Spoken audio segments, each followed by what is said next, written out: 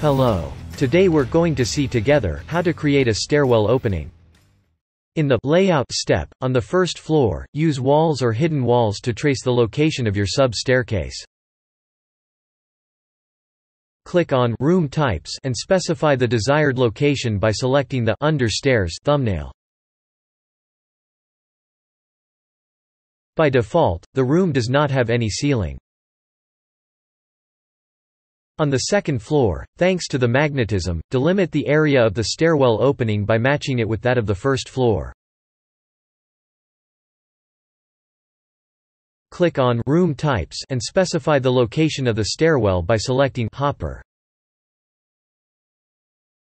The slab is cut and the opening is now created so you can insert the staircase. In the Furnishings step, select Stairs in the left panel and then choose your preferred model. Click where you want to put it on your first floor to insert it. Check, uncheck the Collisions option to make it easier to position. In the Customization panel, set the dimensions of the staircase to match the hopper. In the Materials step, apply the covering on the ground. And there you go.